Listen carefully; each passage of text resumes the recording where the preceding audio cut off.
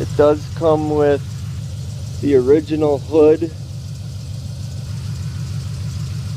I'm not sure why you would want to put it on, but it does come with it.